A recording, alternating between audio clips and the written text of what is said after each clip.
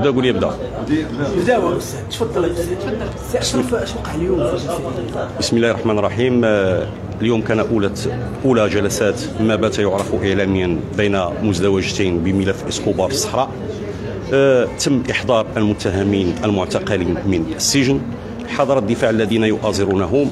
تم تأخير الملف لمجموعة من الاعتبارات. أولى هذه الاعتبارات أولا مهل التمسها الدفاع من أجل اطلاع وإعداد دفاع ثانيا بعض المتهمين ما كانش عندهم دفاع ثالثا بعض المتهمين المتابعين في حالة صلاح لم يحضروا أمام الجلسة ربما لعدم توصلهم بالاستدعاء قررت المحكمة بعد التأكد من هذه الأمور تأخير القضية لجلسة 13 6 بعد ذلك شرع الدفاع ونحن كجزء من هذا الدفاع في تقديم طلبات الإفراج لفائدة المؤازرين ديالهم.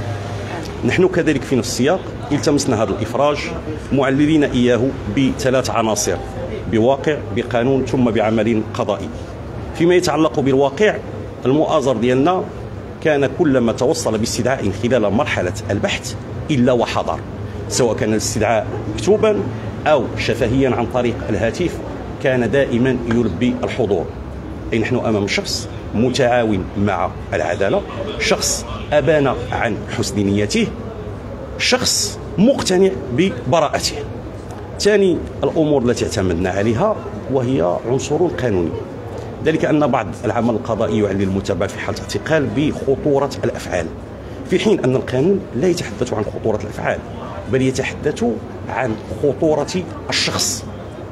إذا ظهر أن هذا الشخص خطير على النظام العام. طيلة مجريات البحث التي امتدت لشهور.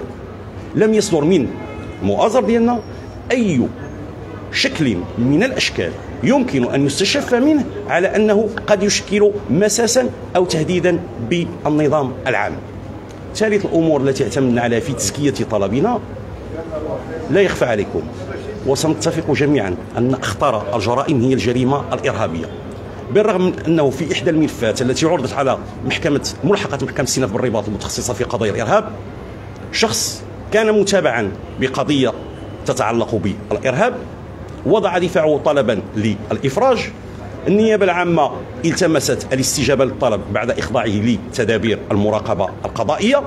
السيد قاضي التحقيق انتصر للقانون وانتصر للحرية وانتصر للدستور وانتصر للمادة الأولى من قانون المسطرة الجنائية وقال بتمتيع هذا المتهم بالإفراج المؤقت. إذا المتهم ديالنا ما الجرائم المنسوبة إليه لا تصل بأي حال من الأحوال إلى خطورة هذا النوع من الجرائم. هذه الأمور جمع نعتقد أنها كفيلة وشفيعة للمتهم بالقول في متابعته في حالة صلاح. أستاذ أشرف بغينا نعرفوا التهم اللي منسوبه لهم كامل. بالنسبة للتهم المنسوبة لهم كاملين ما نقدرش نجاوبك على السؤال غير ديال الموكل ديالك. آه، كاين مجموعة من التهم ستعرفونها في إبانها ملي غادي نشرعوا في المناقشة ديالها. نعم آه، أستاذ جدوي آه، كيفاش دايرة هي الحالة الصحية ديال سعيد نصر فيما يتعلق بالحالة الصحية سعيد النصري هو اللي يقدر يجاوب على هذا السؤال. نقدر نجاوبك على الملف ممكن. نعم. هذه الحالة الصحية هو الوحيد اللي يقدر يجاوب عليها. أنا غير مخول أن أكون ناطقا بلسانه في هذه الأمور. أستاذ أشرف بالنسبة للفرقة الوطنية لقات بأن كاين شي توقيعات حقيقية من أه توقيعات ديال بن إبراهيم الله يعطيك الخير فيما يتعلق بهذه الأمور التي تتعلق بالموضوع. أرجئ معك النقاش بشأنها أو الحديث بشأنها إلى غاية أننا نوصلوا الموضوع أمام المحكمة. نعم تم تأجيل؟ كذلك تم تأخير الملف لجلسه 13 6 نعم شكرا. شكراً. شكرا لكم. بارك الله عليك. شكرا الله يبارك فيك.